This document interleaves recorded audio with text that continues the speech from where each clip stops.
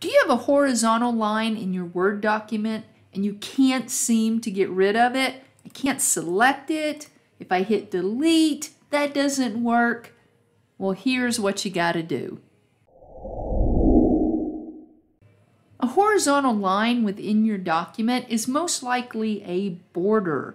So here's how you get rid of it. Make sure your cursor is above the line.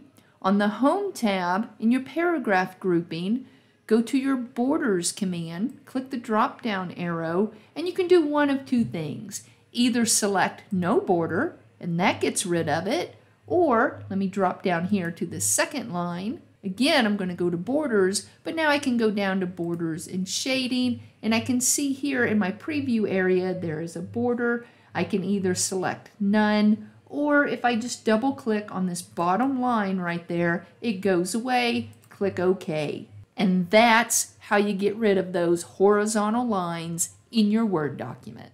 Thanks for watching. If you found this video helpful, please subscribe to my channel. And now that you know how to delete a horizontal line, you might like to watch this video on how to insert a horizontal line with quick and easy shortcuts.